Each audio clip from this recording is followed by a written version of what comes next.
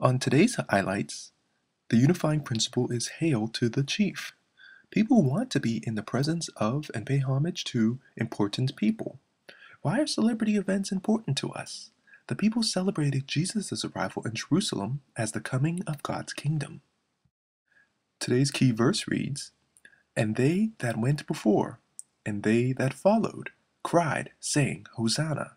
Blessed is he that cometh in the name of the Lord. Mark chapter 11, verse 9.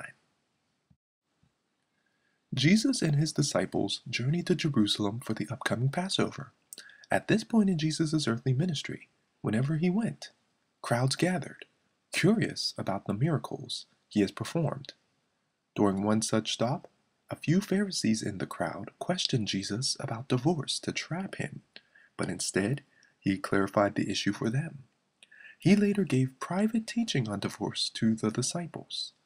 As Jesus and the disciples continued to journey on, parents brought their children to him for a blessing, and a rich man approached, inquiring what he should do to gain eternal life. When Jesus told him he must give away all his riches and follow him, the man sadly departed.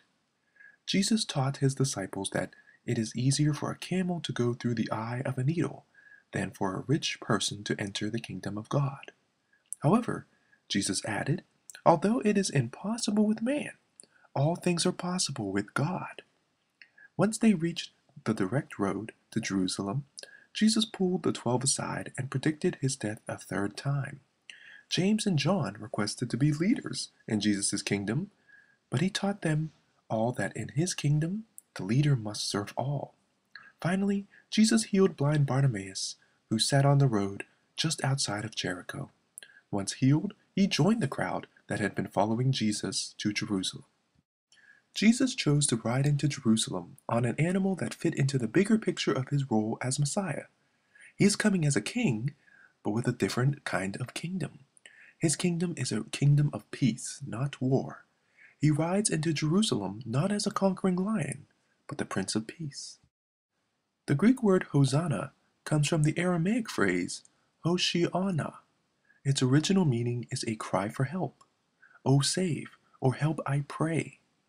Coupled with the blessing that follows, as in Mark, it denotes an expression of praise, rejoicing, or greeting.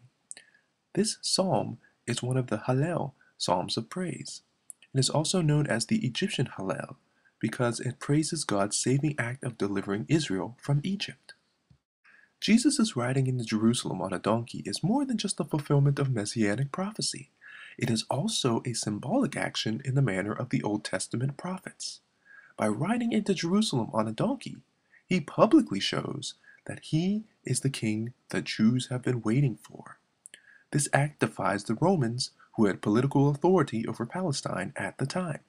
It also defies the local Jewish ruler Herod and the high priest who ruled alongside Rome. Jesus goes into the temple and looks around. The reign of the Messiah is intricately bound with the temple, since the temple was a symbol of God's presence on earth. It is fitting for Jesus to go into the temple, although he does not cleanse it at the moment. Let's discuss the meaning. Sometimes our view of God is limited to our present wants. We forget that Jesus came so we could have eternal life. What are some ways we try to shape God to meet our wants? How can we learn to express our gratitude for eternal salvation? Here's our lesson. We live in a society that engages in celebrity worship.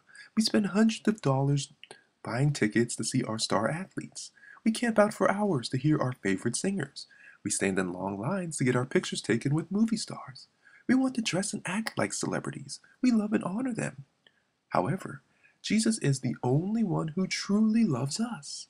He loved us so much, he suffered, died, and rose again for our salvation. We should strive to live lives that honor him.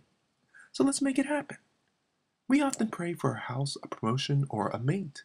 There's nothing wrong with looking to God to take care of our every need. However, we should not only limit him to what we perceive as important.